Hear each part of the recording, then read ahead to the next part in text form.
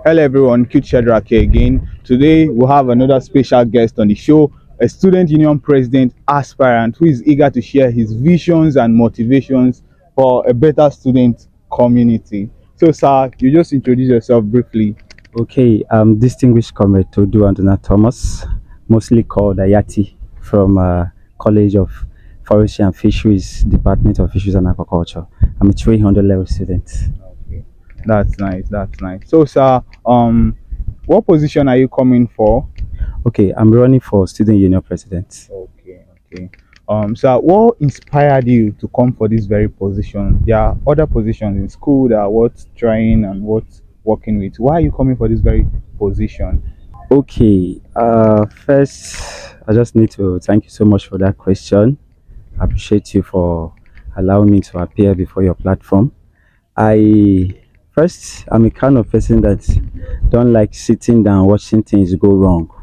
When I feel there are a lot of things I can do by myself, I don't like complaining without acting. If I know I can do something, or I know that there is need for something to be in place, and I have the potential to do it, I think I go for it. That's the kind of person that I am.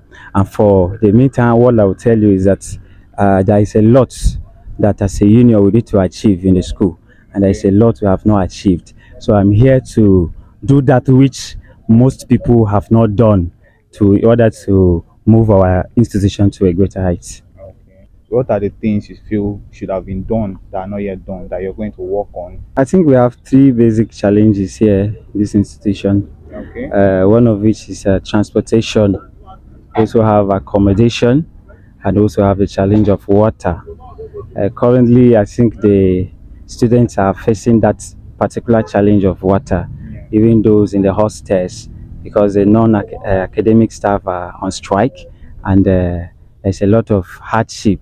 So even uh, if you want to go out to purchase water now i think they're selling at higher rate this has become a very big challenge for students.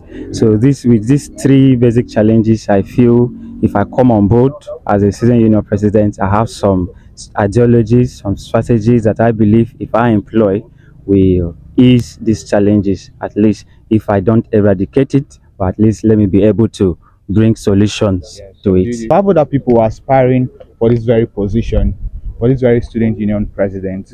What sets you apart from them, and why should we vote for you instead of them? Well, uh, this is a very interesting question. I must say that I'm coming out genuinely. I don't have uh, anybody telling me that you should do this. I'm doing this by myself and willingly. I see the need to do it. And then, first, I believe so much in God, and I think uh, I am being honest in all I do, even as uh, the race is still going on. I am being honest, and I think I have the experience that most of them don't have. Have the experience, and I think the experience I have is that it is not by what you tell people or how how sweet you know you talk to people. I think it's by how you make the people love you.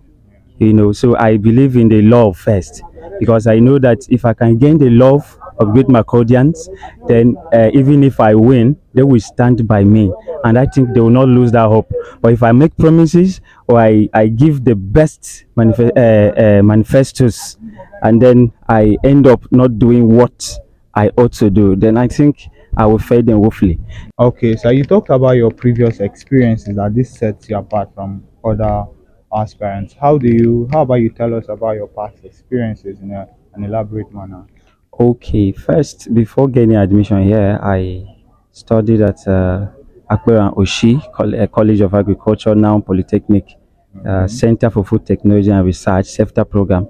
So I graduated there 2019. I was a CEFTER president, and I think I, uh, the way I got into that position was something that was so alarming because when I contested, a lot of contestants happened to step down for me, and for the very first time, I uh, somebody came out for student union position at that capacity that uh, other aspirants will have to step down for him. So there was even no elections because so you mean you were unopposed? I was unopposed. Wow. So I, I think that was because of the love student had for me. And because of this, I was able to discharge my duties diligently and effectively. And that is why I cherish that part, love. You know, I believe when you are loved, then you will be trusted.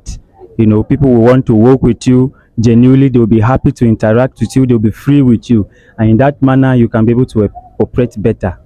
So, I, and then uh, from there, I coming to UniAgric, I I was uh, a coach web right from 100 level. So I interacted with a lot of aspirants that came down to campaign and then my fellow student. So I get to know a lot, you know, being a normal student without uh, being occupying a position. I get to know a lot. And then I also served in uh, the previous government where I also learned a lot. I know how the government went. I know all what happened. So I think I've learned from a lot of places, a lot of people. So if I can balance it together, I think I have an insight on what I need to do, what the people want.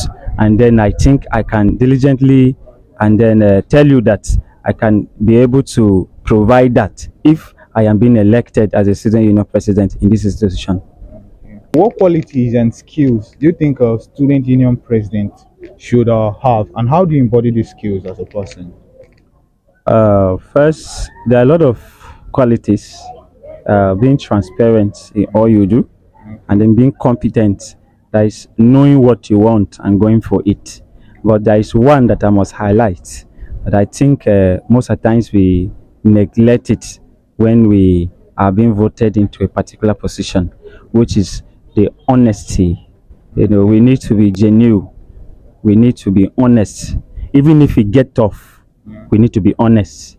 Even if we feel that we we are wrong, or at some point we did a, a, a lot of mistakes, some mistakes, so to say, we should uh, be able to admit them and let the people believe in us. I believe if we are honest and transparent, the student will see us for who we are.